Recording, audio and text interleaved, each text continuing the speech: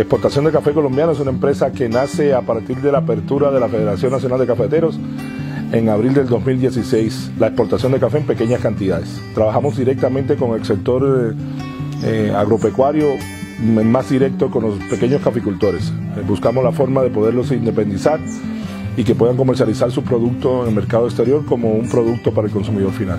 El proceso de comercialización que nosotros eh, implementamos es eh, que el caficultor puede hacer sus negociaciones directas con los compradores en el exterior y nosotros le prestamos el servicio logístico para que el café pueda llegar a las manos de estos compradores. Nuestro radio de acción es a nivel nacional. Somos una empresa que manejamos exportaciones alrededor de 500 marcas de café a nivel nacional. Creo que Cámara y Comercio puede tener registro, pero creo que el, segundo, el día 2 de enero, siempre hacemos renovación de Cámara y Comercio.